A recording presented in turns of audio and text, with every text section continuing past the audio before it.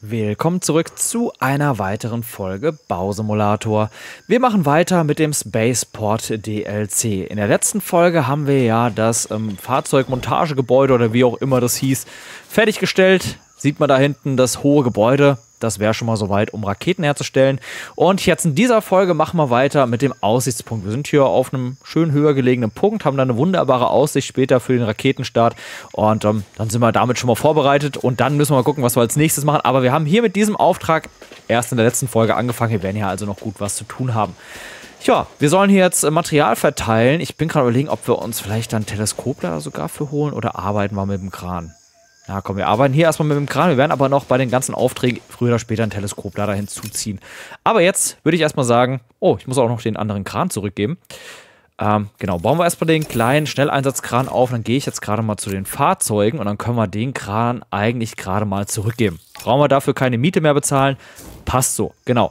Ja, mit dem Kran können wir jetzt auf jeden Fall erstmal die ganzen Paletten verteilen und dann sehen wir mal weiter, was noch so anfällt. Wahrscheinlich, ja, wie gesagt, in der letzten Folge wahrscheinlich Boden betonieren oder Fundament beziehungsweise betonieren und so weiter und so fort. Man kennt ja so die ganzen Prozesse mittlerweile schon. Es ist ja meistens vom Anfang her immer erstmal gleich. Ja, meistens erstmal ein bisschen Boden abtragen, Bewährungsgitter verteilen, betonieren, ja, Wände aufbauen vielleicht oder hier in dem Fall ich würde ja fast mit rechnen, hatten wir nicht schon mal so, so einen Aussichtspunkt gebaut und hatten da irgendwie Bohrungen setzen müssen. Also es kann auch sein, dass wir hier bohren sollen, aber ich habe ja schon in der letzten Folge gesagt, wenn wir hier tatsächlich wieder bohren sollen in diesem DLC, ich werde das nicht mehr machen. Ich weigere mich. Ich weigere mich einfach. Wir werden dann diese Aufgabe überspringen und machen mit den nächsten Sachen weiter.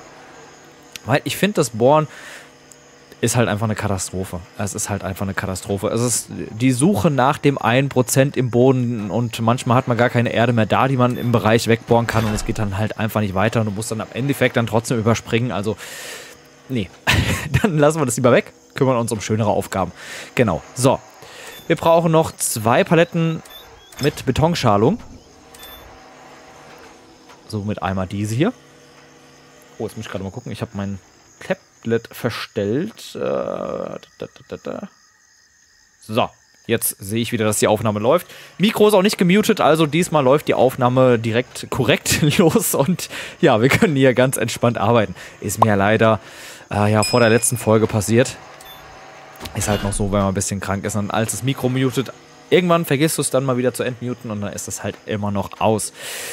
Naja, passiert. Jeder macht mal Fehler. Genau. So, ja, ich bin auch übrigens immer noch leicht, leicht zu, also die Stimme. Je mehr ich rede, desto schwieriger wird es wieder mit dem Reden, aber so an sich, es ist schon tausendmal besser als die Tage davor. Also ging richtig schnell eigentlich jetzt wieder besser. Es war erst so tagelang rumgequält, irgendwie gleicher Zustand, nichts hat sich getan und dann so schlagartig mal eine Nacht total schlecht und dann, ja, jetzt geht's mir gut. es ist, war dieses Tief, bevor es dann wieder aufwärts geht. Habt ihr das auch meistens? Also wenn ich krank bin, habe ich meistens ähm, dann nochmal so einen Tag, wo es mir richtig, richtig mega mies geht. Und dann schlagartig, zack, bumm, besser. So ist es meistens bei mir auf jeden Fall. Das war anscheinend dann auch diese eine Nacht, wo es mir richtig schlecht ging und dann, ja, alles wieder tutti guti frut. tutti guti gut. So, nicht frut. Alles wieder gut. So, Bewährungsgitter. Gerade mal platzieren. Jetzt haben wir noch eine Palette Bewährungsgitter. Die ist leider ein bisschen eingebaut. Wir müssen da ein bisschen was runterheben, aber das sollte kein Problem sein. Wir haben hier so Betonteile, so wie es aussieht. Sieht ein bisschen aus wie Bahnschwellen. Nein, Quatsch. Aber auch so Betonteile. Nur, dass das hier halt große Platten sind, so wie es aussieht, genau. Ja, ich würde jetzt einfach mal hier so daneben stellen. Ist ja egal, wo die hinkommt. So, dann heben wir die noch runter. Können wir auch hier vorne hinstellen von mir aus. Auch nichts dagegen. Also einmal hier hin. Boah, ist Steuerung mit dem Kran. So, einfach hier hinklatschen. Und dann eben wir die Palette runter. Ja, ich wollte erst Teleskoplader, hatte ich kurz überlegt, aber habe ich gesehen, ja, wir haben hier ganz viele Reihen bis nach hinten. Wenn man dann drei, vier Paletten wegräumen muss, um an die letzte Palette vielleicht hinten dran zu kommen, plus die obere Lage noch runterräumen muss, das würde ziemlich anstrengend werden, glaube ich, mit der Zeit. Deswegen lieber mit dem Kran gerade mal gearbeitet. Aber wir werden noch eine Baustelle bekommen, wo wir mit dem Teleskop leider ein bisschen mehr arbeiten können. Ganz sicher. Ganz sicher.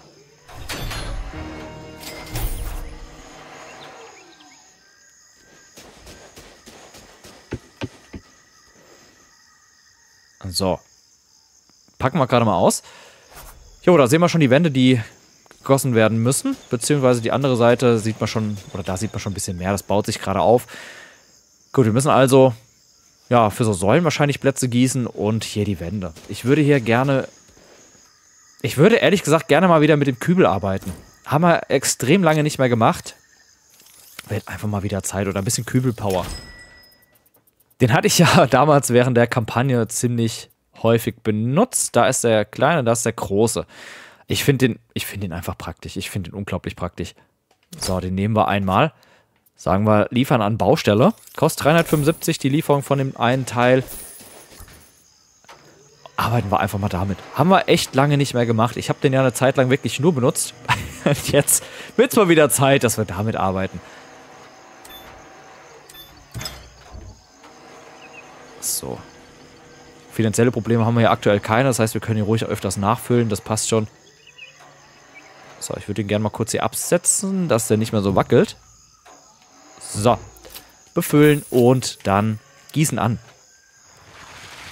Ja, wir werden hier einige Ladungen brauchen, da bin ich mir ganz sicher.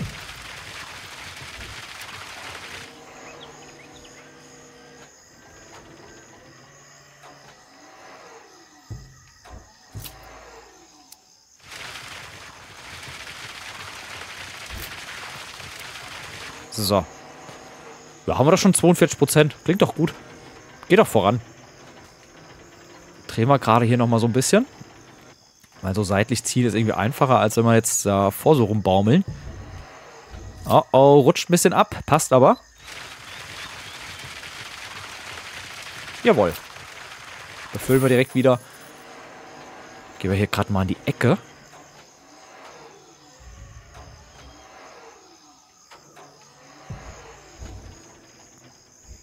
So, zielen. Ich glaube, wir müssen aber noch so ein bisschen nach hinten. Sonst Oh, jetzt dreht sich das gerade wieder rum. So, jetzt. Und Feuer frei. Okay. Gießen wieder aus. 78 Prozent. Sehr schön. Aber wir müssen auch wieder Oberboden abtragen, sehe ich gerade da vorne. Ja gut, probieren wir dann auf jeden Fall auch erstmal wieder mit der Planierraupe. Mal wieder den faulen Weg. Oder den effizienten. Kann man sagen, wie man will. So, jetzt müssen wir bestimmt noch, ja, die ganzen Teile hier ausgießen. Das war klar, wenn das auf der anderen Seite schon so ist, dann ist es natürlich hier in dem Bereich wieder genauso. Dann machen wir hier gerade mal Feuer frei.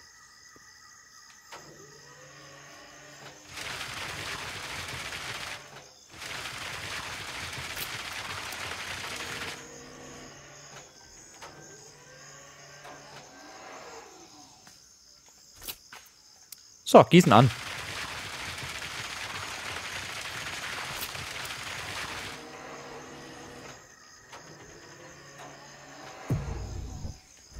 Und nochmal gießen an. Ja, zählt nicht so ganz. Theoretisch kann man den Beton auch einfach laufen lassen. Ja, einfach laufen lassen, rüberziehen, passiert auch nichts. Spiegel berechnet nur den Bereich, der quasi gefüllt werden soll. Kann ich ja gleich nochmal demonstrieren, aber das haben wir eigentlich sonst in der Kampagne oft genug gemacht. Ich ziehe jetzt einfach mal rüber. Man sieht, man verliert nicht mehr Inhalt vom Beton, erst wieder, wenn man in dem Bereich ist, wo Beton gegossen werden soll. Also wenn man ganz extremes Faulheitslevel hat, kann man das ruhig einfach so rüberziehen.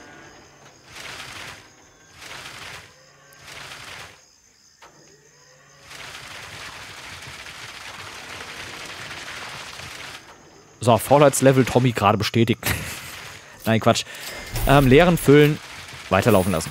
Gut. 64% haben wir jetzt.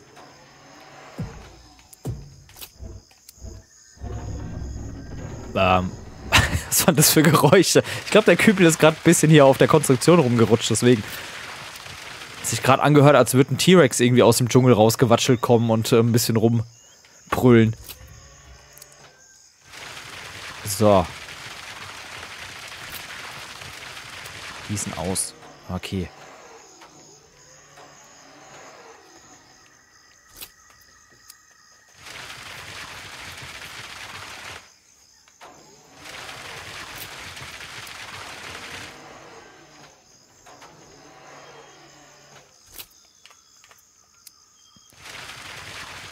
Ja, vorletzter, oder?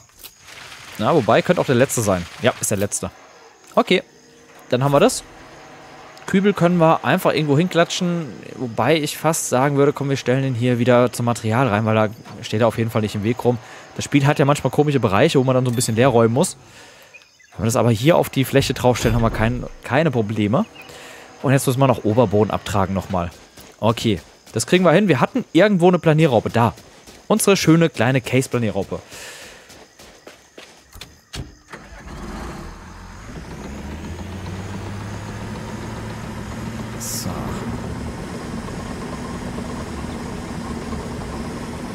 Ist nur die Frage, wie tief müssen wir runter? Genauso tief wie hier vorne quasi, wo wir da rausgeschoben haben, oder müssen wir hier tiefer oder nicht so tief? Oberboden abtragen würde ich jetzt einfach mal sagen, das sind bestimmt wieder so 10, 20 Zentimeter, die hier nur weg müssen. Also wahrscheinlich eher weniger tief. Ups. So, Schild noch ein bisschen drehen, dass wir das alles jetzt links rausschieben gerade mal. Ich hätte eigentlich anders beginnen müssen. So schiebe ich jetzt gleich dann das Material auf das betonierte Zeug drauf.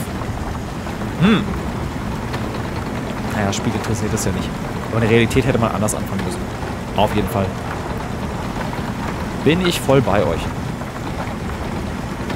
Ich hoffe mal, dass später das Gebäude hier noch wegkommt. Ja, diese, diese Bruchbude hier gegenüber. Sieht das aus, wenn man hier die Investoren überzeugen möchte? Und dann hast du da so eine, so eine schäbige Bude nebenan stehen. Das wäre nicht so geil. Also ich glaube schon, dass das schöner wäre, wenn dieses alte Gebäude da auch weg wäre. Aber wir sind ja kein Abrissunternehmen. Ah, ich schiebe die Erde auch gerade falsch übrigens.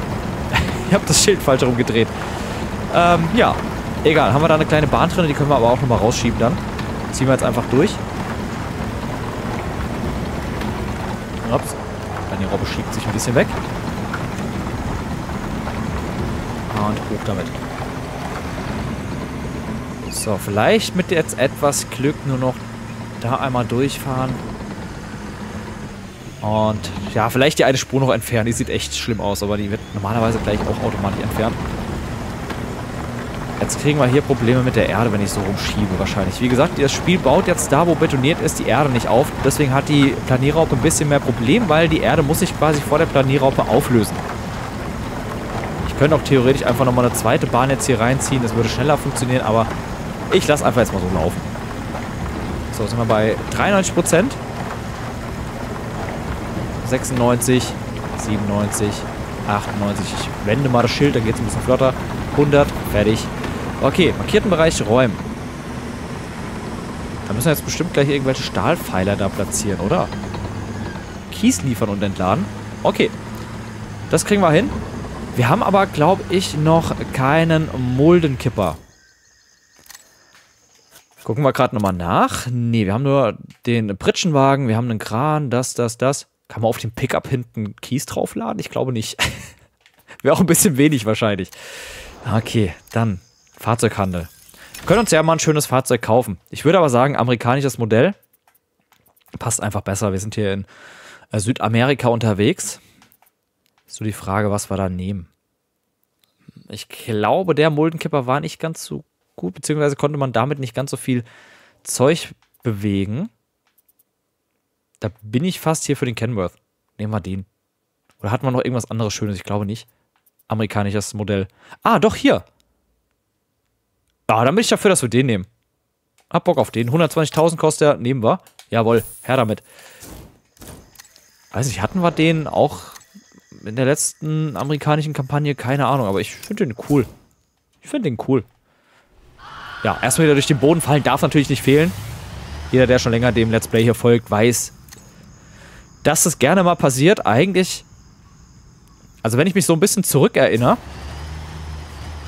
früher war das doch nicht so häufig, oder? Da war das ganz selten mal, dass man mit dem Fahrzeug geflogen ist oder dass man durch den Boden gefallen ist. Mittlerweile ist es so, fast jedes Mal, wenn ich ein neues Fahrzeug habe, falle ich erstmal durch den Boden. Da hat sich irgendwie ein bisschen was ins Negative entwickelt. Oh, ich sollte eigentlich links entlang. Man sollte vielleicht auch mal auf die Map gucken. So. Nee, aber ich kann mich irgendwie jetzt nicht an das Fahrzeug so wirklich erinnern, dass wir das hatten. Also ich denke mal, das hatten wir nicht auf der amerikanischen Map. Auf der anderen. Weil die Blinkerposition sagt mir irgendwie nichts da oben. Ich will gerade mal ein bisschen da hochfahren. Finde den Weg interessant. Schön, dass man auch da oben den Kran stehen sieht.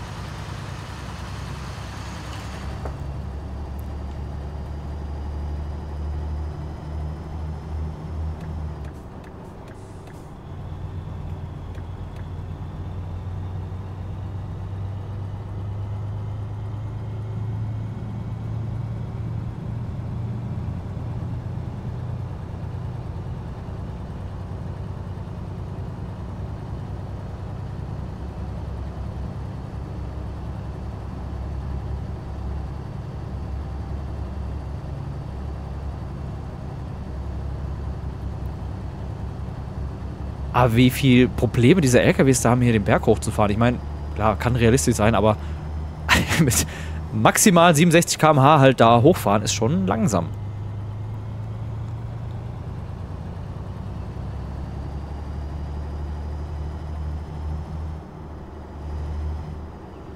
So, da wären wir.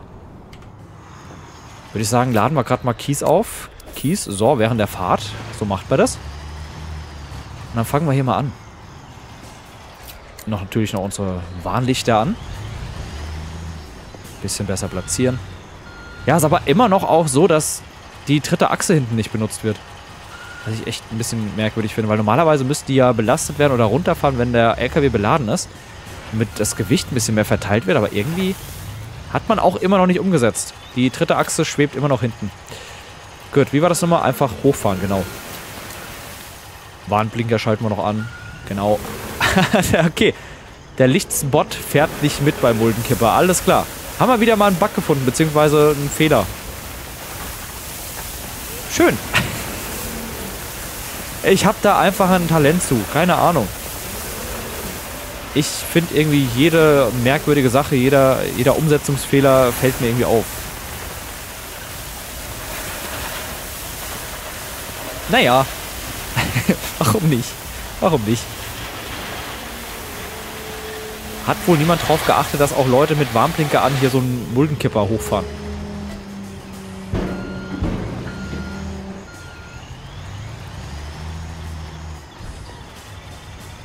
Tja, die haben nicht mit mir gerechnet.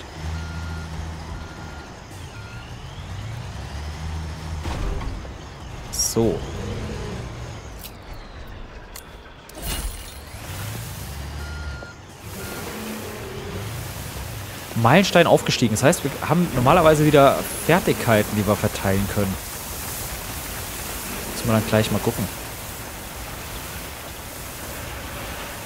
Ich würde aber auch gerade gerne eigentlich immer ein Bild machen, aber wenn ich jetzt hier so stehen bleibe, fällt das ganze Material raus. Deswegen fahren wir gerade mal so ein bisschen, bisschen runter.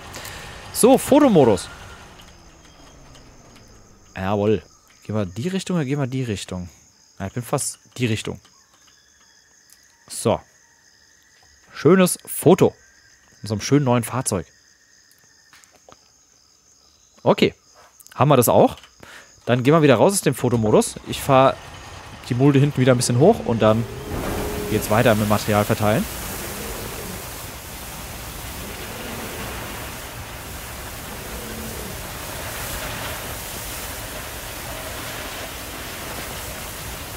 Ich bin aber froh, dass das so funktioniert, dass man das so umgesetzt hat. Weil stellt euch mal vor, man hätte das Material irgendwo auf einen Haufen werfen müssen und dann mit einem Bagger oder Radlader verteilen müssen. Das wäre aufwendig gewesen. So, Kies verdichten. War irgendwie klar, dass die Aufgabe jetzt auch noch kommt? Boah, hier sind auch lauter Schrottfahrzeuge gelagert. Alles klar. Gut. Wir gucken gerade mal Fuhrpark. Hatte ich da schon irgendwas Passendes dafür? Nee, hatte ich nicht. Wie viel Geld haben wir? Eine Million. Ja gut, für eine Million können wir schon nochmal ein Fahrzeug kaufen. Oder ich will jetzt eigentlich nicht wieder so viele Fahrzeuge kaufen. Aber andererseits, was man hat, hat man. Spart man sich so ein bisschen die Mietkosten. Asphaltwalze, Erdbauwalze, Wacker hätten wir da. Die hätten wir von Sunny. Die Erdbauwalze, die würde ich eigentlich. Kostet 90.000. Gekauft. Nehmen wir. So. Gerade einmal zum Fahrzeughandel einsteigen. Und los geht die ganze Sache. Ja, natürlich wieder der legendäre Schrei, der legendäre Flug aus der Map raus. Aber wir sind lange nicht mehr in die Höhe katapultiert worden. Es wird, wird mal wieder Zeit eigentlich. Wird eigentlich mal wieder Zeit. So. geben wir mal Gas.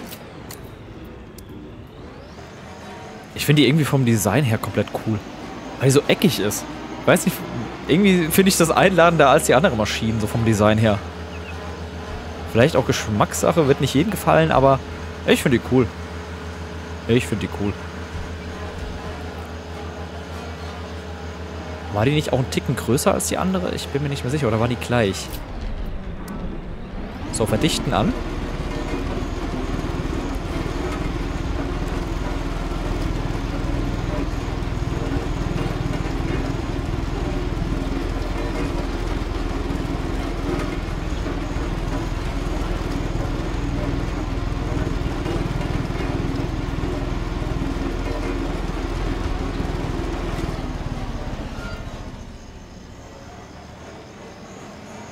So, wir positionieren uns gerade mal so, dass wir rückwärts da nochmal entlang fahren können.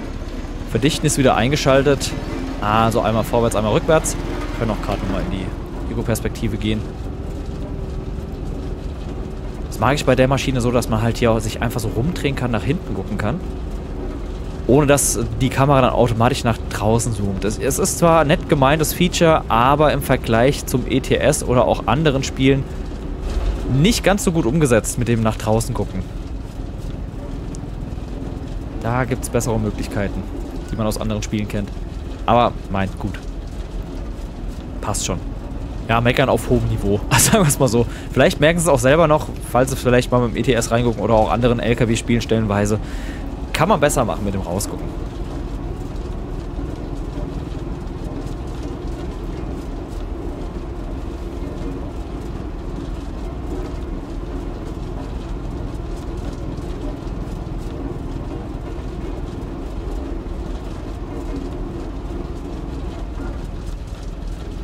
So, nochmal positionieren, dass wir rückwärts wieder entlang fahren können. Wir sind jetzt schon bei 75 Prozent.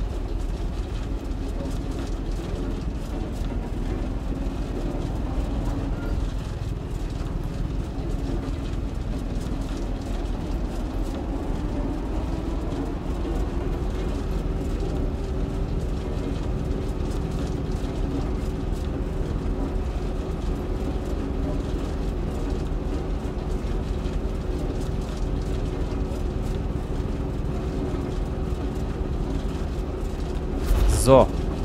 Okay. Dann verdichten gerade einmal aus. Nicht, komme ich hier hoch? Komme ich da rum? Ja. Sollte passen. Können uns eigentlich neben die Planierer bestellen. Oder wir fahren halt einfach da vorne hin. Genau. Wir haben ja Zuschauer, sehe ich gerade erst. Gar nicht aufgefallen. Hallo? Die bewundern bestimmt auch dieses wunderschöne neue Fahrzeug. Jetzt stellen wir noch ein wunderschönes neues Fahrzeug daneben.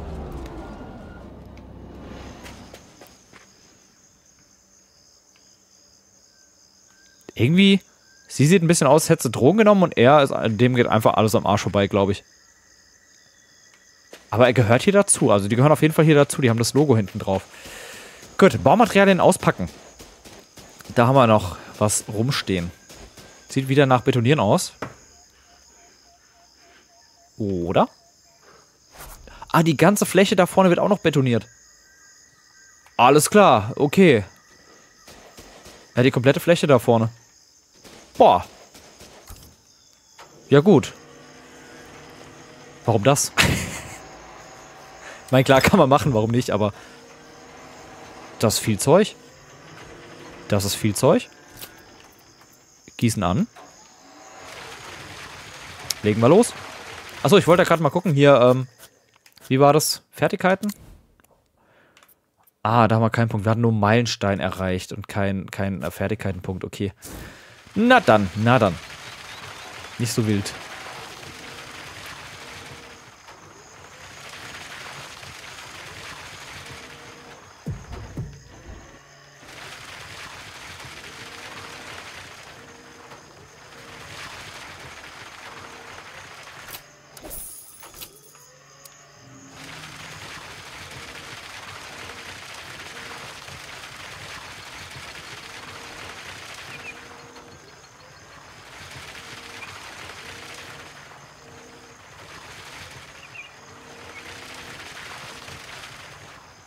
Geht eigentlich, eigentlich doch recht zügig. Es geht eigentlich doch recht zügig.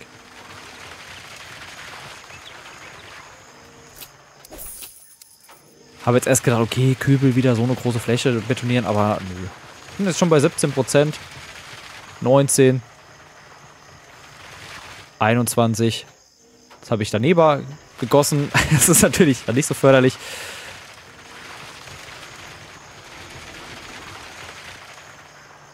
So, ich würde eigentlich gerne hier so gefühlvoll mit dem Kran rumschwenken, aber ich krieg's nicht auf die Kette. Liegt auch ein bisschen daran, wenn du halt mit dem Kran länger in eine Richtung lenkst, dann gibt er halt auch irgendwann mal Vollgas. Und wenn ich halt so ein bisschen nur Gas gebe, kann es passieren, dass es trotzdem irgendwann dann viel schneller wird. Wie jetzt zum Beispiel. Und dann ist er halt schneller. Dann gibt er halt Gas. Und wenn ich auch weiter rumlenke, hat er noch mehr Gas. Das ist so ein bisschen das Sache, die, die Sache hier dran. So, gießen an.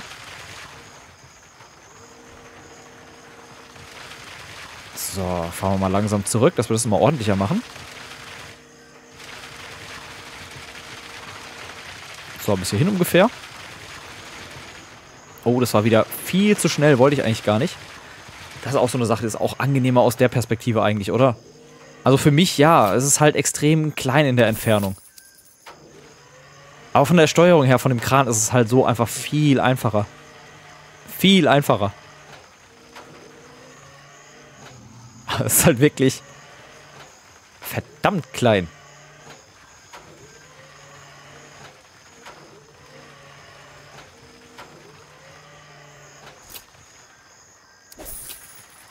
So, läuft direkt weiter.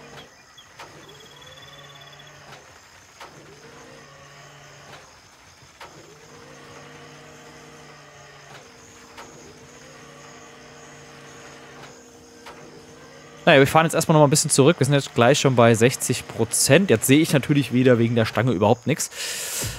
Dann muss ich doch wieder wechseln. Befüllen. Und wieder gießen an.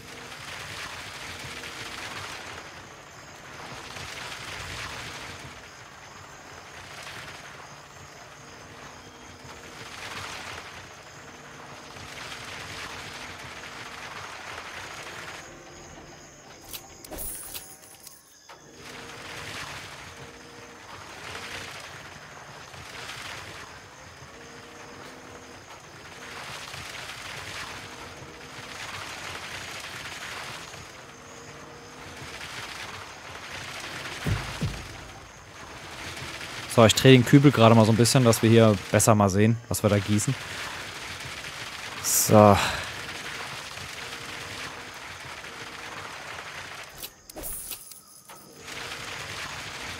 Mein innerer Monk schreit, da ist noch so eine Stelle, die sieht echt unschön aus. So, sieht schon besser aus, zwar immer noch nicht perfekt, aber sieht ein bisschen besser aus. So, lass mal kurz auspendeln. Ein Stück nach vorne. Und hier nach links. Das war ein bisschen weit nach vorne.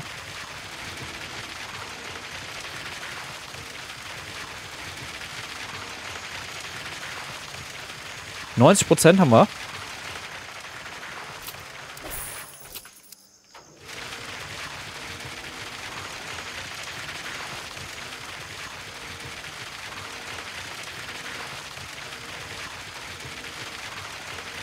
Und 100. Sehr schön. Gut, haben wir da eine riesen Betonfläche vorne dran geklatscht. Jetzt geht's wieder ans Material verteilen. Palette Betonschalung. Mal gespannt, was da jetzt noch kommt.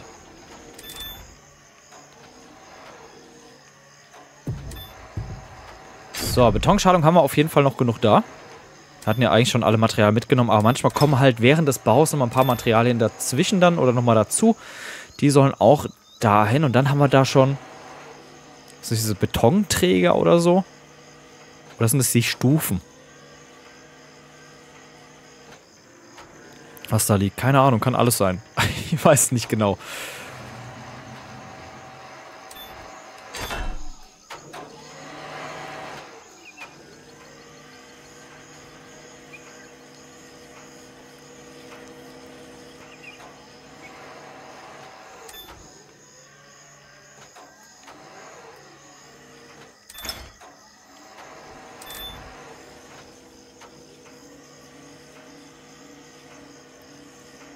So, ich sehe aber gerade, wir sind schon wieder bei 30 Minuten. Wo ist die Zeit hin? Wo ist die Zeit hin? Haben doch nur ein bisschen Boden abgetragen, haben doch nur ein bisschen betoniert und haben nochmal ein bisschen betoniert. Ja, krass, okay. Aber ich würde sagen, wir verteilen auf jeden Fall noch die zwei Paletten mit der Betonschalung. Platzieren wir auf jeden Fall noch an Ort und Stelle. Und dann machen wir hier an der Stelle in der nächsten Folge weiter. Wenn ich nicht wieder mein Mikro mute aus Versehen und ähm, vergesse, wieder es freizugeben. oh Mann, das ist jedes Mal so peinlich. Das ärgert mich auch jedes Mal äh, extrem. Ich meine, in den meisten Fällen wird nichts verpasst, wenn mir das passiert, wenn ich krank bin. Aber es ist halt trotzdem ärgerlich. Ja. Man will ja alles zeigen, was man hier macht. Und dann ähm, hast du halt einfach mal 10 Minuten nicht äh, dabei im Video. Auch wenn vielleicht nichts Spannendes passiert. Also mich persönlich ärgert es halt trotzdem. So, dann einmal noch die eine Palette. Ich denke mal Betonsäcke sind das oder so. Können wir hier gerade nochmal daneben schmeißen.